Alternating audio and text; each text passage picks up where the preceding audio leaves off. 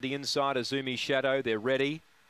Set. Away, began well. That is good speed out wide, St. Madam. And crossing out wide, Tally Ho Jack just carved over and led the way. Put up three lengths on them here. Azumi Shadow went to second. St. Madam went to third. And behind them, Southwood Trump.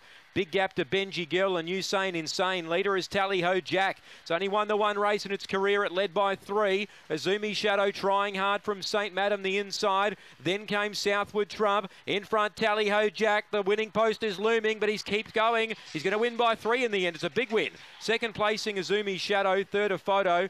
Uh, Southwood Trump, St. Madam, the main two. Benji Girl and Usain Insane did nothing. It was towards the rear. Tally Ho Jack, win number two, and it's career of what's it had now? 33 starts. So wins don't come common for him, but today he's done the job. Tally Ho Jack, number eight, gets the money, speared out from box number eight and led throughout. Number eight, Annette Campman, the winning trainer, gets the money from one Azumi Shadow and seven third St. Madam. They all had their chance to run him down, but they couldn't.